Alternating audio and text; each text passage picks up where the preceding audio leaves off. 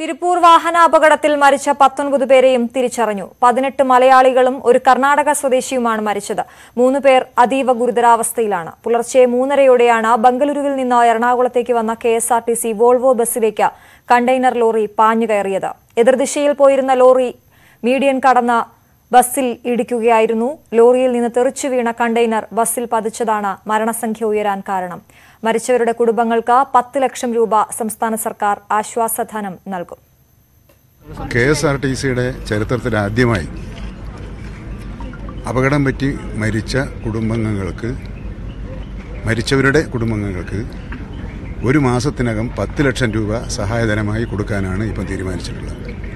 Formalities ഒന്നും നോക്കാതെ അടിയന്തരമായി രണ്ട് ലക്ഷം രൂപ കൊടുക്കാനും തീരുമാനമായിട്ടുണ്ട്. പരിക്കേറ്റവരുടെ ചികിത്സാ കാര്യങ്ങളാണ് ഇപ്പോൾ ശ്രദ്ധിക്കുന്നത്. മറ്റെന്തൊക്കെ ചെയ്യാൻ കഴിയുമെന്നുള്ളത് പരിശോധിച്ച് മറുപടി പറയുന്നതാണ്.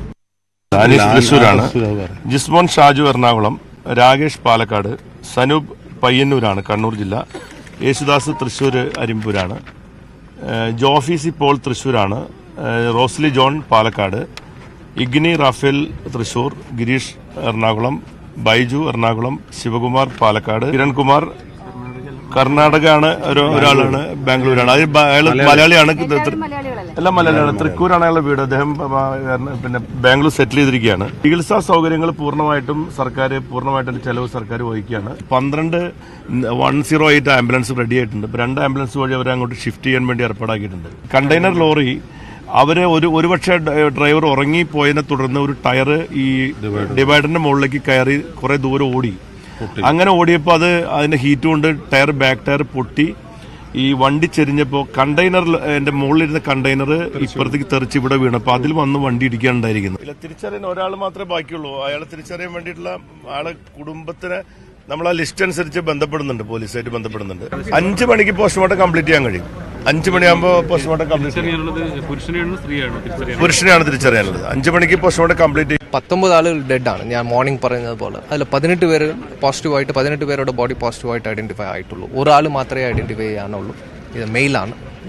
സോ അതിന്റെ ഡീറ്റെയിൽസ് ഇപ്പോൾ ആരും വന്നില്ലെങ്കിൽ ഫോട്ടോഗ്രാഫ്സ് നമ്മൾ പുറത്തു കൊടുത്തതാണ് ബാക്കി ഈ പതിനെട്ട് പേരുടെയും പോസ്റ്റ്മോർട്ടം എല്ലാം തന്നെ ഇന്ന് തന്നെ പൂർത്തിയാകും ഇന്ന് തന്നെ പൂർത്തിയാകും ഡോക്ടേഴ്സിനോട് ഇവിടുത്തെ കളക്ടറും ഡിസ്കസ് ചെയ്ത് ഞാനും ഡിസ്കസ് ചെയ്ത് ഇന്ന് തന്നെ പൂർത്തിയാക്കാം ഈ പിന്നെ അപകടത്തിന്റെ കാരണം എന്താണെന്നുള്ള ഒരു പ്രാഥമിക അന്വേഷണത്തിലേക്ക് നമ്മൾ പോയിട്ടുണ്ടോ? എന്താണ് ഇതിന്റെ അവസ്ഥ? ഈ ലോറി ഡ്രൈവർ ഇപ്പോൾ പോലീസ് കസ്റ്റഡിയിൽ എടുത്തിട്ട് ചോദിച്ചു വരുന്നുണ്ട്. സോ പുള്ളി ഇപ്പോൾ ആദ്യമായിട്ട് എനിക്ക് കേട്ടത് പുള്ളി പറഞ്ഞത് പുള്ളിക്ക് പെട്ടെന്ന് കൺട്രോൾ മിസ്സായി കൺട്രോൾ മിസ്സായ കാരണം കൊണ്ട് റോങ് സൈഡിലെ ലോറി കയറി മീഡിയനിൽ കയറി ലോങ് നമുക്ക് കാണുമ്പോൾ കൺട്രോൾ മിസ്സായി സംഭവിച്ചതുപോലെ കാണുന്നില്ല. പോസിബിളി പുള്ളി ഉറങ്ങി കാണും. ഒന്ന് സംഭവ സമയം three twenty five A M ആ മൂന്ന് ഇരുപത്തഞ്ച് എ എം ആയതുകൊണ്ട് പോസിബിലിറ്റി ഇസ് ദാറ്റ് പുള്ളി ഉറങ്ങി. ബ്ലഡ് സാമ്പിൾ എടുത്തിട്ടുണ്ട്. വേറെ എന്തെങ്കിലും കാരണം ഉണ്ടാവുമോ അതും പോലീസ് പരിശോധിച്ച് വരുന്നുണ്ട് ഈ കണ്ടെയ്നർ ലോറിയിൽ ഈ ഡ്രൈവർ മാത്രമേ ഉണ്ടായിരുന്നുള്ളൂ. വേറെ ആരെങ്കിലും സ്റ്റാഫായിട്ടുണ്ട് എനിക്ക് ഇപ്പോൾ നമുക്ക് കിട്ടിയത് ഡ്രൈവർ മാത്രം ഉള്ളതായിട്ടാണ്. അവർ അതും ഫർദർ ആയിട്ട് പോലീസ് അന്വേഷിച്ച് വരുന്നുണ്ട് ആ വണ്ടി എങ്ങോട്ട് പോകുമായിരുന്നു സർ? എറണാകുളത്ത് അത് സേലം എന്നാണ് ഞാൻ കേട്ടത്. അതെ അതെ. കൂടുതൽ വിവരങ്ങളുമായി സി വി അനുമോദാണ് ചേരുന്നത്. അനുമോദ ഇപ്പോൾ പത്തൊൻപത് പേരെയും തിരിച്ചറിഞ്ഞിരിക്കുന്നു എന്ന ഏറ്റവും പുതിയ വിവരം പുറത്തുവരുമ്പോൾ വരുമ്പോൾ തിരിച്ചറിഞ്ഞ ആളുടെ വിശദാംശങ്ങൾ നമുക്ക് ലഭ്യമാണോ? പോസ്റ്റ്മോർട്ടം നടപടികൾ എങ്ങനെ പുരോഗമിക്കും? അശ്വതി ഏറ്റവും അവസാനം തിരിച്ചറിഞ്ഞത് എറണാകുളം സ്വദേശിയായ ശിവശങ്കരൻ എന്ന ആളെയാണ്. ഇദ്ദേഹത്തിന്റെ മൃതശരീരം അല്പസമയം മുമ്പാണ് തിരിച്ചറിഞ്ഞത്. ഇപ്പോൾ അല്പസമയം മുമ്പ് കളക്ടർ പറഞ്ഞതനുസരിച്ച് പന്ത്രണ്ട് മൃതദേഹങ്ങളുടെ പോസ്റ്റ്മോർട്ടം നടപടികൾ പൂർത്തിയായി കഴിഞ്ഞിരിക്കുന്നു. മൂന്ന് പേരുടെ മരിച്ച മൂന്ന് പേരുടെ ബന്ധുക്കൾ എത്തിച്ചേരാനുണ്ട്. അവർ അല്പസമയം ഉടൻ തന്നെ അല്പസമയത്തിനകം എത്തിച്ചേരുമെന്നാണ് അറിയാനാകുന്നത്. അത് അവർ എത്തിച്ചേർന്നു കഴിഞ്ഞാൽ മറ്റു നടപടിക്രമങ്ങളെല്ലാം തന്നെ പൂർത്തിയാക്കും. ഇന്ന് തന്നെ പത്തൊൻപത് പേരുടെയും മൃതശരീരങ്ങൾ പോസ്റ്റ്മോർട്ടം പൂർത്തിയാക്കി നടപടി പൂർത്തിയാക്കി നാട്ടിലേക്ക് അയക്കുമെന്ന് തന്നെയാണ് അല്പസമയം മുമ്പും എ കെ ശശീന്ദ്രൻ മിനിസ്റ്റർ അറിയിച്ചത്. ഇപ്പോൾ മന്ത്രിമാർ ഇവിടെ നിന്നും ഇറങ്ങിയിരിക്കുന്നു.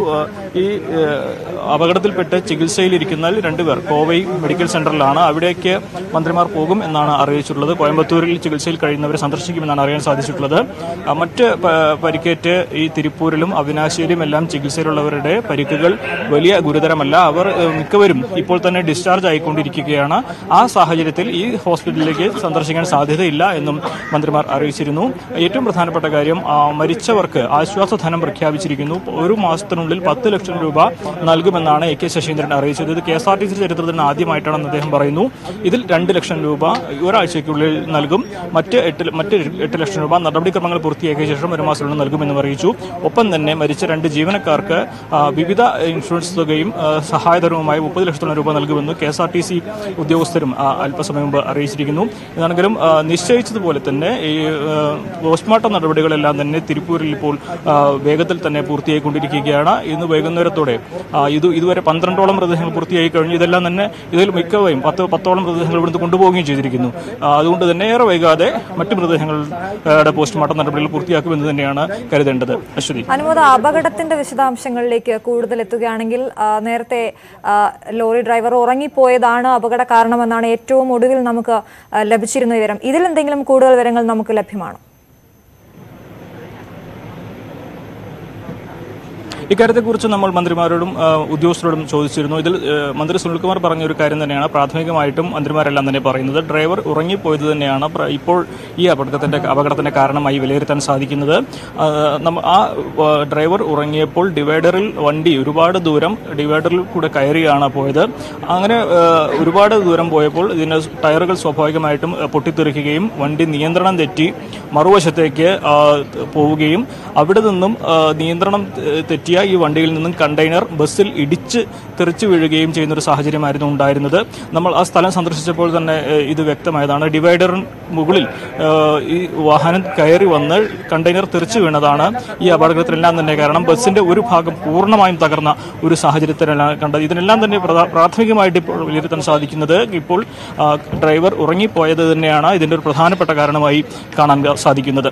ശരി. അനുമോദാണ് വിവരങ്ങൾ നൽകിക്കൊണ്ടിരിക്കുന്നത്. പത്തൊൻപത് പേരെയും മരിച്ച പത്തൊൻപത് പേരെയും തിരിച്ചറിഞ്ഞിരിക്കുന്നു. പതിനെട്ട് പേർ മലയാളികളാണ്. ഒരാൾ കർണാടക സ്വദേശിയാണ്. ബസ് ജീവനക്കാർക്ക് പുറമെ പതിനേഴ് യാത്രക്കാരാണ് അവിനാശി അപകടത്തിൽ മരിച്ചത്. മരിച്ച മുഴുവൻ ആളുകളെയും തിരിച്ചറിഞ്ഞു. മരിച്ചവരിലേറെയും തൃശൂർ എറണാകുളം പാലക്കാട് ജില്ലകളിൽ നിന്നുള്ളവരാണ്. അവിനാശി അപകടത്തിൽ മരിച്ച എട്ട് പേർ എറണാകുളം ജില്ലയിൽ നിന്നുള്ളവരും ആറ് പേർ തൃശൂരിൽ നിന്നുള്ളവരും മൂന്ന് പേർ പാലക്കാട് ജില്ലയിൽ നിന്നുള്ളവരുമാണ്. ഒരാൾ കണ്ണൂർ സ്വദേശിയും മറ്റൊരാൾ കർണാടക സ്വദേശിയുമാണ്. ബസ് ജീവനക്കാർ രണ്ടുപേരും എറണാകുളം ജില്ലക്കാരാണ്. ഡ്രൈവർമാരായ ഗിരീഷ് പുല്ലുവഴി സ്വദേശിയും ബൈജു വെളിയനാട് സ്വദേശിയുമാണ്. ജിസ്മോൻ ഷാജു ഐശ്വര്യ ഗോപിക മാനസി മണികണ്ഠൻ എം സി മാത്യു ശിവശങ്കരൻ എന്നിവരും എറണാകുളത്തു നിന്നുള്ളവരാണ്. ഒല്ലൂർ അപ്പാടൻ വീട്ടിൽ ഇഗ്നി റാഫേൽ പുറന്നാട്ടുവളപ്പിൽ ഹനീഷ് അണ്ടത്തോട് സ്വദേശി നസീഫ് മുഹമ്മദ് അലി എയ്യാൽ സ്വദേശി Anu K V Jofi Paul Yesudas എന്നിവരാണ് തൃശൂരിൽ നിന്നുള്ളവർ. മംഗലാംകുന്ന് സ്വദേശി ശിവകുമാർ തിരുവേഗപ്പുറ സ്വദേശി രാകേഷ് റോസ്ലി എന്നിവർ പാലക്കാട് ജില്ലയിൽ നിന്നുള്ളവരാണ്. മരിച്ച സനൂപ് കണ്ണൂർ പയ്യന്നൂർ സ്വദേശിയും കിരൺകുമാർ കർണാടകയിലെ തുംകൂർ സ്വദേശിയുമാണ്. News eighteen Tiruppur. അവിനാശി അപകടം അശ്രദ്ധയുണ്ടാക്കിയ അപകടമെന്ന ഗതാഗത വകുപ്പിന്റെ പ്രാഥമിക വിലയിരുത്തൽ. കണ്ടെയ്നർ ലോറിയുടെ ഡ്രൈവർ ഉറങ്ങിപ്പോയതാണ് അപകട കാരണമെന്നാണ് ഗതാഗത വകുപ്പ് വ്യക്തമാക്കുന്നത്. സി വി അനുമോദിന്റെ റിപ്പോർട്ടിലേക്ക്. അവിനാശി ദുരന്തത്തിന് കാരണമായ കണ്ടെയ്നർ ലോറിയാണിത്. കെ എൽ ഏഴ് സി എസ് അറുപത്തിമൂന്ന് ഇരുപത്തഞ്ച് ഈ കണ്ടെയ്നർ ലോറിയാണ് അപകടം ഉണ്ടാക്കിയത്. നമുക്ക് ദൃശ്യങ്ങളിൽ കാണാം. ഇതിന്റെ കണ്ടെയ്നർ ഈ ലോറിയിൽ നിന്നും കണ്ടെയ്നർ ബസ്സിലേക്ക് തെറിച്ച് വീണ് ബസ്സിലേക്ക് ഇടിച്ചു കയറുകയായിരുന്നു. കണ്ടെയ്നർ കുറച്ചപ്പുറത്തേക്ക് മാറി പോവുകയും ചെയ്തു. ഈ ഇതിന്റെ ടയറുകളെല്ലാം തന്നെ രണ്ട് ടയറുകൾ തെറിച്ചു പോയിരിക്കുന്നു. ഒരു ടയർ പൂർണമായും കത്തി തീർന്നിരിക്കുന്നു. കണ്ടെയ്നറിന്റെ ഒരു ഭാഗം പൂർണമായും തകർന്നിരിക്കുന്നു. ഇത് കണ്ടെയ്നർ ലോറിയിലെ കണ്ടെയ്നർ ലോറി മുന്നോട്ട് ബസ്സിലിടിക്കാതെ മുന്നോട്ട് തെറിച്ചു വീഴുകയായിരുന്നു. പക്ഷേ കണ്ടെയ്നർ അടർന്ന് ബസ്സിലേക്ക് ഇടിച്ചു കയറി ജാമായിട്ടാണ് ഈ അപകടം ഉണ്ടായത്. ഡ്രൈവർ രക്ഷപ്പെട്ടു. ഇദ്ദേഹം പോലീസിന്റെ കസ്റ്റഡിയിലാണ് എന്നാണ് അറിയാൻ സാധിക്കുന്നത്. ഇതിൽ അപകടത്തിന്റെ കാരണം എന്താണെന്ന് വെളിവാക്കും വെളിവാകുന്നേ ഉള്ളൂ. ഒരുപക്ഷെ ഈ ടയറുകൾ പൊട്ടിയത് കൊണ്ടാണോ അതോ ഡ്രൈവർ ഉറങ്ങിപ്പോയത് കൊണ്ടാണോ എന്നുള്ള കാര്യങ്ങളെല്ലാം തന്നെ ഇപ്പോൾ വെളിവായിട്ടില്ല. കണ്ടെയ്നർ ക്യാബിന്റെ ഒരു ഭാഗവും ഇടിച്ച് ഞെളിഞ്ഞിരിക്കുന്നു. പക്ഷേ ഒരു ഭാഗം മുൻപിലെ ഗ്ലാസും തകർന്നിട്ടുണ്ട്. പൂർണമായും തകർന്നിട്ടില്ല. പക്ഷേ ഗ്ലാസ് എല്ലാം തന്നെ തകർന്നിരിക്കുന്നു. ഇത് ഈ അപകടം നടന്ന ഇടത്തിന് അതായത് അപകടം നടന്ന ഇടത്തിന്റെ തൊട്ടടുത്തുള്ള സർവീസ് റോഡിലാണ് ഇപ്പോൾ ഈ വണ്ടി പാർക്ക് ചെയ്തിരിക്കുന്നത്. നമുക്ക് ഇതിന്റെ വലതുവശത്താണ് ഈ ഈ കണ്ടെയ്നർ നിർത്തിയതിന്റെ വലതുവശത്താണ് അപകടം നടന്ന സ്ഥലം. എറണാകുളം ഭാഗത്തും തിരുപ്പൂരിലേക്ക് പോവുകയായിരുന്ന വണ്ടി എറണാകുളം ഭാഗത്തേക്ക് പോവുകയായിരുന്ന ബസ്സിലേക്ക് ഡിവൈഡർ മറികടന്ന് നിയന്ത്രണം തെറ്റി വന്ന കണ്ടെയ്നർ ഇടിച്ചു കയറിയാണ് ഈ അപകടം സംഭവിച്ചത്. അഞ്ച് മണിക്കൂറോളം ഈ മേഖലയിൽ പൂർണമായും ഗതാഗതം തടസ്സപ്പെട്ടു. കണ്ടെയ്നർ മാത്രമാണ് ഇപ്പോൾ ഇവിടെ ഉള്ളത്. ബസ് അല്പസമയം മുമ്പ് ഇതിന് കുറച്ച് ദൂരത്തിലുള്ള സ്ഥലത്തേക്ക് മാറ്റി. പക്ഷേ ബസ്സിന്റെ അവശിഷ്ടങ്ങളെല്ലാം തന്നെ ഈ മേഖലയിൽ പല ഭാഗത്തായിട്ടും ചിതറിക്കിടക്കുന്നുണ്ട്. ഇതിന്റെ സർവീസ് റോഡിന്റെ ഓടയിൽ ഇതിൽ ബസ്സിന്റെ സീറ്റും മറ്റ് കാര്യങ്ങളെല്ലാം തന്നെ ടയറും എല്ലാം തന്നെ കിടക്കുന്നുണ്ട്. എന്താണെങ്കിലും വലിയ ഒരാൾക്കൂട്ടം ഈ അപകടം നടന്ന സ്ഥലത്തേക്ക് ഇപ്പോഴും എത്തിക്കൊണ്ടിരിക്കുകയാണ്. അതുകൊണ്ട് തന്നെ ചെറിയ ഗതാഗത കുരുക്കിനും ഇവിടെ സാധ്യതയുണ്ട്. വാഹനങ്ങളെല്ലാം തന്നെ മാറ്റിയിട്ടുണ്ട്. പക്ഷേ ഗതാഗതം പൂർണമായി സ്തംഭിച്ച ഒരു സാഹചര്യം ഉണ്ടായിരുന്നു. അതും മാറ്റിയിട്ടുണ്ട്. ആളുകൾ കൂടുതലായിട്ട് ഇവിടേക്ക് ഈ അപകടം നടന്ന സ്ഥലം കാണുവാൻ ഇപ്പോൾ എത്തിച്ചേർന്നുകൊണ്ടിരിക്കുന്ന കാഴ്ചയാണ് നമ്മൾ കണ്ടുകൊണ്ടിരിക്കുന്നത്. അവിനാശി അപകടത്തിൽ നിന്നും അത്ഭുതകരമായി രക്ഷപ്പെട്ടവരുടെ പ്രതികരണങ്ങളിലേക്ക്. മൂന്ന് മൂന്നര സമയത്ത് ഒരു സൗണ്ട് മാത്രം ഭയങ്കരമുണ്ട് പെട്ടെന്നൊന്നും മനസ്സിലായില്ല. അപ്പോഴും ഒരു മിനിറ്റ് കഴിഞ്ഞപ്പോഴാണ് അതിന്റെ ഒരു ഇതായത്. ആക്സിഡന്റ് ആയെന്ന് മനസ്സിലായി. അത്രേ ഉള്ളൂ. അപ്പോൾ പിന്നെ ഞാൻ ഒന്ന് ബാക്ക് സീറ്റിലേക്ക് വന്നപ്പോൾ അവിടെ ഗ്ലാസ് പ്ലെയിൻ കണ്ടപ്പോൾ ഗ്ലാസ്മ്മ തട്ടി. പൊട്ടിക്കാൻ പറഞ്ഞു. പിന്നെ അവിടെ കുറേ നേരം ഇരുന്നു. അപ്പോഴേക്കും ആരോ പൊട്ടിച്ച് ഗ്ലാസ് കുറച്ച് കഴിഞ്ഞപ്പോൾ ആളുകളൊക്കെ പുറത്തേക്ക് കൊണ്ടുവന്നു. ഇവിടെ കൊണ്ടുവന്നു. ഇത് ആക്സിഡന്റ് ആയത് മൂന്നേ കാലിനാണെന്നുള്ളത് പിന്നീടാണ് അറിയണേ. കാരണം നല്ല ഉറക്കമാണ് ആ സമയത്ത്. ഞാൻ വണ്ടിയിൽ നിന്ന് ഇറങ്ങുമ്പോൾ എനിക്ക് തോന്നുന്നു ഏകദേശം നാല് മണി അടുപ്പിച്ചായിട്ടുണ്ട്. ഞാൻ ആ ബസ്സിൽ നിന്ന് പുറത്തോട്ട് ഇറങ്ങുമ്പോൾ അതിന്റെ ഗ്ലാസ് പൊളിച്ചതിന് ശേഷമാണ് അവിടെ നിന്നാണ് ലാഡർ ഇട്ടിട്ടുണ്ടായിരുന്നു. ആ ലാഡറിന്റെ മുകളിൽ കയറി അവിടെ നിന്നാണ് പുറത്തോട്ട് ഇറക്കിയത് അപ്പോൾ ആംബുലൻസ് ഉണ്ടായിരുന്നു. ഒന്നോ രണ്ടോ ആംബുലൻസ് ഉണ്ടായിരുന്നു. അപ്പോൾ ഞങ്ങൾക്ക് തൊട്ടപ്പുറത്തുണ്ടായിരുന്ന ആൾക്ക് നല്ല ഫ്രാക്ചർ ഉണ്ടായിരുന്നു. പുള്ളിയെടുത്ത് ചോര ഒലിച്ചുകൊണ്ടിരിക്കുവായിരുന്നു. അപ്പോൾ അവരെയൊക്കെയാണ് ആദ്യം കയറിയ വണ്ടിയിൽ കയറ്റി വിട്ടത്. ആംബുലൻസിൽ കയറ്റി വിട്ട്. അല്ലാത്ത വണ്ടിയിലാണ് ഞങ്ങൾ ഇത്രയും പേര് പോകുന്നത്. കെ എസ് ആർ ടി സിയുടെ എൺപത്തിരണ്ടാം വാർഷിക ദിനത്തിലാണ് നാടിന് നടക്കിയ ദുരന്തം. ആയിരത്തി തൊള്ളായിരത്തി മുപ്പത്തിയെട്ട് ഫെബ്രുവരി ഇരുപതിനാണ് കെ എസ് ആർ ടി സിയുടെ തുടക്കം. ആയിരത്തി തൊള്ളായിരത്തി അറുപത് മുതൽ ബാംഗ്ലൂർ കൊച്ചി ആഴ്ച service K S R T C നടത്തുന്നുണ്ട്. ദുരന്ത സ്ഥലത്ത് നിന്നും സി വി അനുമോ തയ്യാറാക്കിയ റിപ്പോർട്ട് കാണാം. അവിനാശിയിൽ അപകടത്തിൽപ്പെട്ട ആ K S R T C ബസ്സാണ് എനിക്ക് പിന്നിൽ കാണുന്നത്.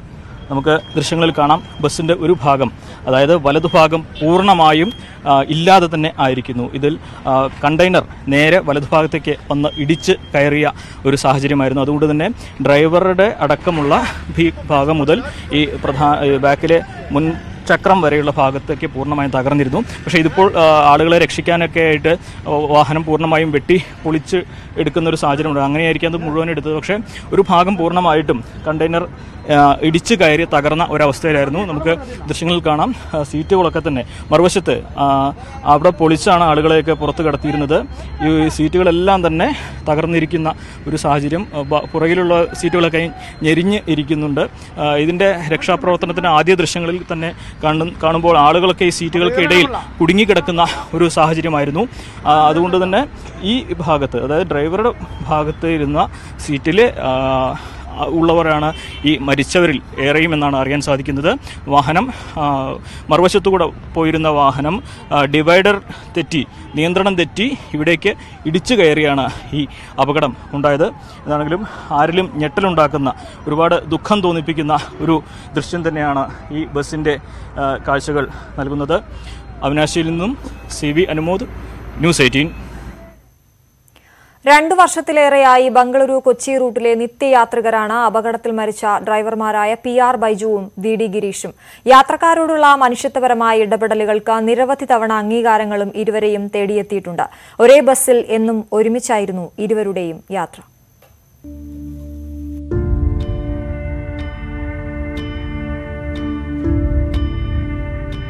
എറണാകുളം ബംഗളൂരു സർവീസ് നടത്തുന്ന K S R T C Volvo bus എന്നാൽ ബൈജുവും ഗിരീഷും എന്നായിരുന്നു അർത്ഥം. ഒരേ മനസ്സും ചിന്തയുമായി എന്നും യാത്രക്കാരുടെ പ്രിയപ്പെട്ടവരായിരുന്നവർ. ട്രാക്ക് തെറ്റിച്ചു വന്ന തടഞ്ഞു നിർത്താനാവാത്ത ദുരന്തം ഇരുവരുടെയും ജീവനെടുത്തപ്പോൾ വിറങ്ങലിച്ചു നിൽക്കുകയാണ് രണ്ടു നാടുകൾ.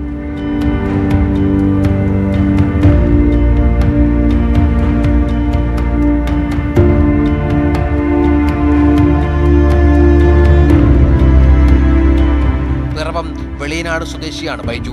പെരുമ്പാവൂർ പുല്ലുവഴിയാണ് ഗിരീഷിന്റെ നാട്. ഇവരുടെ അകാലത്തിലുള്ള വിയോഗം ഞങ്ങൾക്ക് വളരെയധികം വേദനിപ്പിക്കുന്നതാണ്. ഞങ്ങൾ പല ഞങ്ങൾ പല യൂണിയൻകാരാണ്.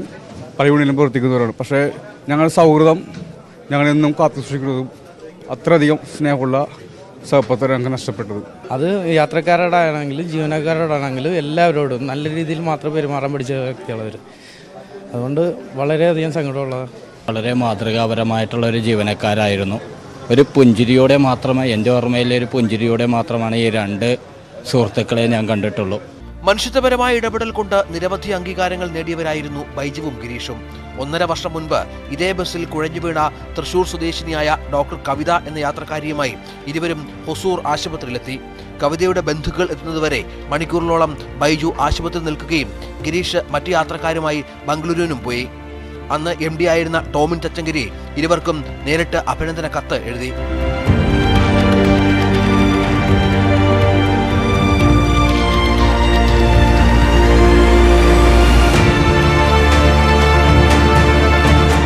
ചൊവ്വാഴ്ച വൈകിട്ട് ബംഗളൂരുവിൽ നിന്ന് കൊച്ചിയിലേക്ക് വരേണ്ടതായിരുന്നു ഈ ബസ്. ബുധനാഴ്ച കൂടുതൽ യാത്രക്കാരുടെ റിസർവേഷൻ ഉള്ളതിനാൽ യാത്ര ഒരു ദിവസത്തേക്ക് മാറ്റിവെക്കുകയായിരുന്നു. മാറിയ യാത്രയാണ് ഇരുവരുടെയും ജീവനെടുത്തത്. News eighteen Kochi. ബസ് ഡ്രൈവർമാരായ ബൈജുവിന്റെയും ഗിരീഷിന്റെയും മരണവാർത്ത ഉൾക്കൊള്ളാൻ പ്രയാസമുണ്ടെന്ന് തൃശൂർ സ്വദേശിയായ ഡോക്ടർ കവിതാ വാര്യർ. ഡ്രൈവർമാർക്ക് ഇരുവരും മാതൃകയായിരുന്നുവെന്നും കവിതാ വാര്യർ ന്യൂസ് എയ്റ്റീനോട് പറഞ്ഞു. രണ്ടായിരത്തി പതിനെട്ടിൽ ബംഗളൂരു യാത്രക്കിടയിൽ കവിതയുടെ ജീവൻ രക്ഷിച്ചത് ബൈജുവും ഗിരീഷുമായിരുന്നു. സൂവി വിശ്വനാഥിന്റെ റിപ്പോർട്ട്. അവിനാശി അപകടത്തിൽ കൊല്ലപ്പെട്ട K S R T C ഡ്രൈവർമാരായ ബൈജുവും ഗിരീഷും രക്ഷിച്ച കവിതാ വാര്യർ നമ്മോടൊപ്പം ചേരുകയാണ്. ഇന്നിപ്പോൾ ഒരു നടക്കുന്ന വാർത്തയാണ് വന്നിരിക്കുന്നത്. എങ്ങനെയാണ് ഇവർ രണ്ടുപേരെയും ഓർക്കുന്നത്? സത്യം പറഞ്ഞാൽ രാവിലെ ഞാൻ കാലത്ത് ഫസ്റ്റ് കേൾക്കുന്ന ന്യൂസാണിത്. ഭയങ്കര എന്താ പറയുക സങ്കടമായിട്ടുള്ള ഒരു കാര്യമാണ്. കാരണം ഒരു എന്താ പറയുക ബാംഗ്ലൂർ പോലത്തെ ഒരു റിമോട്ട് ഏരിയയിൽ ഞാൻ എന്റെ പ്രായത്തിലുള്ള പെൺകുട്ടി അവിടെ ജോലി ചെയ്ത് തിരിച്ച് വീട്ടിലേക്ക് പോകാന്നൊക്കെ പറഞ്ഞാൽ ഭയങ്കര റിസ്ക് ആയിട്ടുള്ളൊരു കാര്യമാണ്. ഇത് കേട്ടപ്പോൾ ഞാൻ ശരിക്കും വിശ്വസിക്കാൻ പറ്റിയില്ല. കാരണം ജസ്റ്റ് ബസ് അപകടത്തിൽ നിന്ന് മാത്രമേ പറഞ്ഞുള്ളൂ. K S R T C ബസ്സിന് ഒരിക്കലും അങ്ങനെ വളരെ റെയറായിട്ടാണ് സംഭവിക്കാറ്. എന്നാലും ബൈജു ചേട്ടൻ അല്ലെങ്കിൽ ഗിരീഷ് ചേട്ടൻ ഇവരൊക്കെ വണ്ടി ഓടിക്കുമ്പോൾ തന്നെ ഒരു സ്വന്തം വണ്ടി പോലെ അങ്ങനെ പൊന്നു പോലെ കൊണ്ട് നടക്കുന്ന ആൾക്കാരാണ്. വളരെ മയത്തോട് കൂടിയിട്ടാണ് അവർ വണ്ടി കൊണ്ട് നടക്കാറ്. വണ്ടി ഓടിക്കുന്നതും അങ്ങനെ ഒരു റാഷ് ഡ്രൈവിങ്ങും ഇല്ല. അപ്പോൾ ഞാൻ എന്റെ വീട്ടിൽ തൃശ്ശൂരിൽ നിന്ന് ബാംഗ്ലൂരിലേക്ക് പോകുന്ന രാത്രിയായിരുന്നു. അന്ന് എന്നെ രക്ഷിച്ച സമയം. എനിക്ക് വർഷം ഡേറ്റ് അങ്ങനെ ഓർമ്മയില്ല. രണ്ട് വർഷം മുമ്പാണ് തോന്നുന്നു. അപ്പോൾ ആ സമയത്ത് ഞാൻ ഒന്നാമത് എന്റെ പ്രശ്നങ്ങൾ പേഴ്സണലി ഒരുപാട് പ്രശ്നങ്ങളുണ്ട്. അതിന്റെ കൂടെ ഭക്ഷണം കഴിച്ചില്ല. മെന്റൽ മെന്റലി അങ്ങനെ അത്ര ഒരു ഹാപ്പി ആയിരുന്നില്ല. അപ്പോൾ വീട്ടിൽ നിന്ന് ഞാൻ ഓൾറെഡി കഴിക്കേണ്ട ഭക്ഷണം ദഹനക്കേട് കാരണം ഞാൻ ഛർദ്ദിച്ചു. എന്നിട്ടാണ് വണ്ടി കയറിയത് ബസ് കയറുമ്പോൾ തന്നെ ഈ നമ്മൾ സാധാരണ ഡ്രൈവർമാരെ ഒന്ന് നമ്മൾ പേടിക്കുക അല്ലെങ്കിൽ നമുക്ക് മനസ്സിനുള്ളിൽ ഒരു ഇതുണ്ടാവും. അല്ലെങ്കിൽ അവർ അല്ലെങ്കിൽ അവർ നോക്കണ്ട അധികം അല്ലെങ്കിൽ സംസാരിക്കേണ്ട. പക്ഷേ എന്റെ അനുഭവത്തിൽ വെച്ചിട്ട് എനിക്ക് മനസ്സിലായത് ഈ K S R T C ബസ്സുകാരോ കണ്ടക്ടർമാരോ ഒരിക്കലും ഒരു മോശമായിട്ടുള്ളൊരു നോട്ടോ സംസാരം ഒന്നും ഉണ്ടായിട്ടില്ല. വൈകുചേട്ടൻ എന്ന് പറഞ്ഞാൽ എപ്പോഴും ഒരു സ്മൈലിംഗ് ഫേസോട് കൂടിയിട്ടാണ്. നമുക്ക് തന്നെ തോന്നുന്നു എപ്പോഴും ചിരിച്ചിട്ടാണല്ലോ എന്താണെന്നുള്ളത്. അപ്പോൾ ഞാൻ അന്നത്തെ രാത്രിയിലെ സംഭവം എങ്ങനെ ആ അപ്പൊ കയറി ബസ് കേറിയപ്പോ തന്നെ ചേട്ടൻ ഞാൻ പറഞ്ഞു ഇങ്ങനെ ചേട്ടാ ബാംഗ്ലൂർ ഇന്ന സ്ഥലത്ത് എത്തുമോ എന്നിങ്ങനെയാണ്. അവനെ എത്തും കുഴപ്പമൊന്നുമില്ല മോൾ പേടിക്കണ്ടെന്നൊക്കെ പറഞ്ഞ് ആ, രാത്രി ഞാൻ ബസ് കയറി ഞാൻ പറഞ്ഞു എനിക്ക് അത്ര സുഖമില്ല. അവന് കുഴപ്പമൊന്നുമില്ല പേടിക്കണ്ടെന്നൊക്കെ പറഞ്ഞിട്ട് അവസാനം ബസ് കയറി പിന്നെ കുറേ ഒരു പന്ത്രണ്ടര ഒരു മണിയാണ് തോന്നുന്നു. മിഡ് നൈറ്റ് ആകുമ്പോഴേക്കും എനിക്ക് തൊട്ടപ്പുറത്തൊരു പയ്യനായിരുന്നു ഇരിക്കുന്നത്. എനിക്ക് ഓർമ്മയില്ല പേര് ഓർമ്മയില്ല. സാധാരണ ഒരു പയ്യൻ. അപ്പോൾ ഞാൻ പറഞ്ഞു എനിക്ക് സുഖമില്ല എന്ന് പറഞ്ഞപ്പോൾ അടുത്ത നിമിഷം ഞാൻ കണ്ണു തുറക്കുന്നത് ഒരു ഹോസ്പിറ്റലിലാണ് ഹൊസൂർ എന്ന് പറഞ്ഞ സ്ഥലത്ത് ഒരു ഹോസ്പിറ്റലിലാണ് അപ്പോൾ ഞാൻ കണ്ണു തുറക്കുമ്പോൾ ബൈജറ്റാണ് ഫസ്റ്റ് കാണുന്നത്. അപ്പോൾ ചേട്ടൻ പറഞ്ഞു ഇങ്ങനെ പേടിക്കേണ്ട മോളെ ഞാൻ വീട്ടിൽ അറിയിച്ചിട്ടുണ്ട്. വീട്ടിൽ അറിയിക്കുമ്പോൾ പോലും ചില ആൾക്കാർ പേടിപ്പിച്ചിട്ടാണ് അറിയിക്കുക. പക്ഷെ ചേട്ടൻ പറഞ്ഞത് പേടിക്കണ്ട. എന്റെ അമ്മ ടീച്ചറാണ്. അപ്പം അമ്മേനെ വിളിച്ചിട്ട് പറഞ്ഞു ഇങ്ങനെ മോളിങ്ങനെ ചെറുതായിട്ടൊന്നും വീണുണ്ട് പ്രശ്നമൊന്നുമില്ല പേടിക്കണ്ട എന്നൊക്കെ പറഞ്ഞ് എല്ലാ ചിലവും അവരുടെ കെ എസ് ആർ ടി സിക്കാരാണ് ഫുൾ എടുത്തത്. അതിലൊരുപാട് നന്ദി. എനിക്ക് എത്ര പറഞ്ഞാലും തീരില്ല. കാരണം ആ സമയത്ത് ആരും ഉണ്ടായിരുന്നില്ല. സഹായിക്കാനൊന്നും ആരും ഉണ്ടായിരുന്നില്ല. അപ്പോൾ എന്താ പറയുക എന്ന് കേട്ടപ്പോൾ ഭയങ്കര ഷോക്കായി പോയി കാരണം അത്രയും നല്ല മനുഷ്യനാണ്. അപകടത്തിന്റെ ശബ്ദം കേട്ട ഓടിയെത്തിയ നാട്ടുകാരാണ് രക്ഷാപ്രവർത്തനം ആരംഭിച്ചത്. ഹൃദയം നുറുക്കുന്ന കാഴ്ചയാണ് കണ്ടതെന്ന് ദുരന്തസ്ഥലത്ത് ആദ്യമെത്തിയവരിൽ ഒരാളായ പാണ്ഡ്യൻ പറയുന്നു. അവിനാശിയിൽ അപകടം നടന്ന സ്ഥലത്ത് രക്ഷാപ്രവർത്തനങ്ങൾക്ക് നേതൃത്വം കൊടുത്ത പാണ്ഡ്യൻ അദ്ദേഹമാണ് നമ്മുടെ ചേരുന്നത്. അദ്ദേഹത്തിന്റെ ഇവിടെ നഴ്സറിയിലെ ജോലിക്കാരനാണ്. അണ്ണേ നിങ്ങൾക്ക് എന്താ പാത്താച്ചെന്ന് സ്വലം சவுண்டு கேட்டுச்சு தூங்கிட்டு இருந்தோம். அப்போ ச வெடி சவுண்டு மாதிரி கேட்டோன்னே வெளியில் வந்தோம். வெளியில் வந்து பார்த்தா இங்கே ஆக்சிடெண்ட் நடந்தது நடந்துருச்சு. அப்போ இந்த பக்கத்தில் உள்ளவங்க எல்லாம் ஓடி போயிட்டாங்க. இப்போ நாங்கள் வந்து பார்க்கும்போது அவங்க வந்து அந்த வண்டியோட டோரை ஓப்பன் பண்ணி ரெண்டு குழந்தைங்க அப்புறம் ஒரு இன்னொரு லேடிஸு அவங்கள ஃபுல்லாக ஒரு மூணு நாலு பேரை எடுத்து அதுங்கள போலீஸ்காரங்க வந்துட்டாங்க. வந்தோடனே வண்டியில் ஏற்றி அனுப்பி விட்டாச்சு. அதுக்கப்புறம் உள்ளே எல்லாம் சடலமாக கிடந்தனால ஒரு ரொம்ப முடியாத பட்சத்தில் இருக்கவங்கள எடுக்க முடியல. அது நம்ம ஒன்றும் பண்ண முடியாதுன்னு அப்படியே விட்டுட்டோம். அதுக்கப்புறம் போலீஸ்காரங்க வந்தது. இதெல்லாம் இது பண்ண ஃபயர் சர்வீஸில் வந்து எல்லாம் கட் பண்ணி அது அதுக்கப்புறம் அதை ஃபுல்லாக ஒவ்வொன்றா எடுத்து ரிமூவ் பண்ணிட்டு எவ்வளோ டைம் எடுத்தது இந்த கட் பண்ணி கட் பண்ணதே ஒரு ஒரு ஆஃப் அன் ஹவர் இருக்கும். ஆஃப் அன் ஹவரே கட் பண்ணிட்டு இருந்தாங்க. பஸ் கட் பண்ணவே முடியல. அவங்க பார்த்து ஒரு பத்து ஒரு அஞ்சாறு பேர் எல்லாம் ரொம்ப தீவிர முயற்சி பண்ணி எல்லாம் ட்ரை பண்ணாங்க. லாஸ்ட்டில் அந்த வரைக்கும் அவருக்கு பயங்கரமான உள்ள பயங்கரமாக மாட்டிக்கிருச்சு. இப்போ எடுக்கவே முடியல. அதுக்கப்புறம் முயற்சி பண்ணி எல்லாம் எடுத்து உடனே வண்டிக்கு இது பண்ணியாச்சு அந்த டைம்ல எல்லாமே அவருக்கு உயிர் உயிர் இருந்துச்சு உயிர் இருந்துச்சு. அப்போலாம் உயிர் இருந்துச்சு அவருக்கு. அப்புறம் தான் உயிர் ஆமாம் ஆமாம் அவருக்கு உயிர் இருந்துச்சு. உயிர் இருந்துச்சு. வண்டியில் ஒரு மூணு நாலு பேருக்கு உயிர் இருந்துச்சு. பின்னாடி அந்த சீட்டு இருக்கிறதுனால அவங்களும் ரொம்ப நேரம் ட்ரை பண்ணாங்க எங்கனால முடியாது. ஏன்னா அப்படி சீட்டு போட்டு அமுக்கிருச்சு. ஒன்றுமே பண்ண முடியல. கண்டெய்னர் வந்து ஜாம் ஆயிடுச்சு. ஆமாம் ஜாம் ஆயிடுச்சு. പറയുമ്പോൾ പോലും ആ നടുക്കം വിട്ടു മാറിയിട്ടില്ല പാണ്ഡ്യനും മറ്റും ഇപ്പോൾ ആ നടന്ന അപകടത്തിന്റെ രക്ഷാപ്രവർത്തനത്തിന്റെ ആദ്യ മണിക്കൂറുകളിലെ വിശദാംശങ്ങളാണ് അദ്ദേഹം നമ്മോട് പറഞ്ഞത്. അവിനാശിൽ നിന്നും C V Anumod news eighteen. ഭാര്യയെ കൂടി വിദേശത്തേക്ക് കൊണ്ടുപോകാനുള്ള സർട്ടിഫിക്കറ്റുകൾ ശരിയാക്കാനുള്ള യാത്രക്കിടയിലാണ് തൃശൂർ സ്വദേശി ഇഗ്നി റാഫേൽ മരിച്ചത്. യാത്രയിൽ ഒപ്പമുണ്ടായിരുന്ന ഭാര്യ ബിൻസി പരിക്കുകളോടെ കോയമ്പത്തൂരിൽ ചികിത്സയിലാണ്. ബംഗളൂരുവിൽ ജോലി ചെയ്യുന്ന ഇടപ്പള്ളി സ്വദേശി ഐശ്വര്യ ഔദ്യോഗിക ആവശ്യത്തിനായി കൊച്ചിയിലേക്ക് വരുമ്പോഴായിരുന്നു മരിച്ചത്. ഒരു വർഷം മുൻപായിരുന്നു വിവാഹം. മൂന്ന് വർഷം മുൻപായിരുന്നു ഇഗ്നി റാഫേലിന്റെയും ബിൻസിയുടെയും വിവാഹം. ബംഗളൂരുവിലായിരുന്നു ഇരുവർക്കും തുടക്കത്തിൽ ജോലി. സൗദിയിൽ ജോലി ലഭിച്ച് റാഫേൽ പോയതോടെ ബിൻസിയും തൃശൂർക്ക് മടങ്ങിയിരുന്നു. ബിൻസിക്കും വിദേശ ജോലി ശരിയായതോടെ ബംഗളൂരുവിൽ നേരത്തെ ജോലി ചെയ്തിരുന്ന സ്ഥാപനത്തിൽ നിന്ന് സർട്ടിഫിക്കറ്റ് വാങ്ങാൻ പോയതായിരുന്നു ഇരുവരും. മടക്കയാത്രയിലാണ് ഇഗ്നി കൊല്ലപ്പെട്ടത്. ഗുരുതര പരിക്കുകളോടെ കോയമ്പത്തൂരിലെ ആശുപത്രിയിലാണ് ബിൻസി. പോയി എന്നുള്ള റിപ്പോർട്ട് വന്നു. പിന്നെ വൈഫ് കുറച്ച് ക്രിറ്റിക്കലാണ് ഹോസ്പിറ്റലാണെന്ന് പറഞ്ഞു.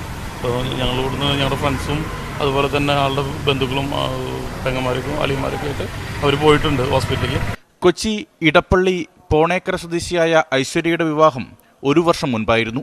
ഐ ടി കമ്പനിയിൽ ജോലി ചെയ്യുന്ന ഇരുവരും വിവാഹശേഷം ബംഗളൂരുവിലായിരുന്നു താമസം. ഔദ്യോഗിക യോഗത്തിൽ പങ്കെടുക്കുന്നതിനായി കൊച്ചിയിലേക്കുള്ള യാത്രയിലായിരുന്നു Aishwarya. News eighteen Thrissur Kochi. വെടിയുണ്ട കാണാതായ സംഭവത്തിൽ ഹൈക്കോടതി സർക്കാരിനോട് വിശദീകരണം തേടി സംഭവത്തിൽ രേഖകൾ ഹാജരാക്കണമെന്ന് കോടതി ഉത്തരവിട്ടു. ഒരു തോക്കുപോലും കാണാതായിട്ടില്ലെന്നും ഇത് ക്രൈംബ്രാഞ്ച് അന്വേഷണത്തിൽ വ്യക്തമായിട്ടുണ്ടെന്നും സർക്കാർ കോടതിയിൽ വിശദീകരിച്ചു. ഉണ്ടകൾ കാണാതായത് സംബന്ധിച്ച് ഇപ്പോൾ കൃത്യമായ കണക്കുകൾ പറയാൻ കഴിയില്ലെന്നും സർക്കാർ വ്യക്തമാക്കി. കേസ് രണ്ടാഴ്ചയ്ക്ക് ശേഷം പരിഗണിക്കും. അനധികൃത സ്വത്ത് സമ്പാദന കേസിൽ മുൻ മന്ത്രി വി എസ് ശിവകുമാറിന്റെയും കൂട്ടുപ്രതികളുടെയും വീടുകളിൽ വിജിലൻസ് റെയ്ഡ്. ബിനാമി ഇടപാടുകളുടെയും സ്വത്ത് വിവരങ്ങളുടെയും തെളിവ് ശേഖരണത്തിനായാണ് പരിശോധന. ശിവകുമാറിന്റെ അടക്കം ബാങ്ക് ഇടപാടുകളുടെ വിവരങ്ങൾ വിജിലൻസ് സംഘം നേരത്തെ ശേഖരിച്ചിരുന്നു. തദ്ദേശ തെരഞ്ഞെടുപ്പിന് രണ്ടായിരത്തി പതിനഞ്ചിലെ വോട്ടർ പട്ടിക ഉപയോഗിക്കരുതെന്ന ഹൈക്കോടതി ഉത്തരവിനെതിരെ സംസ്ഥാന തെരഞ്ഞെടുപ്പ് കമ്മീഷൻ സുപ്രീം കോടതിയിൽ ഹർജി നൽകി. തെരഞ്ഞെടുപ്പ് കമ്മീഷൻ സ്വതന്ത്ര ഭരണഘടനാ സ്ഥാപനമാണെന്നും ഹൈക്കോടതി ഉത്തരവ് തദ്ദേശ തെരഞ്ഞെടുപ്പ് വൈകാൻ കാരണമാകുമെന്നും ഹർജിയിൽ പറയുന്നു. സംസ്ഥാന ക്ഷീരവികസന വകുപ്പ് ഏർപ്പെടുത്തിയ മാധ്യമ പുരസ്കാരത്തിന് ന്യൂസ് എയ്റ്റീനിലെ വി എസ് കൃഷ്ണരാജ് അർഹനായി. ക്ഷീര കർഷക കുടുംബത്തെക്കുറിച്ചുള്ള പശുമ്പ എന്ന ഡോക്യുമെന്ററിക്കാണ് പുരസ്കാരം. പത്ത് വിഭാഗങ്ങളിലായുള്ള പുരസ്കാരങ്ങളും പ്രഖ്യാപിച്ചു.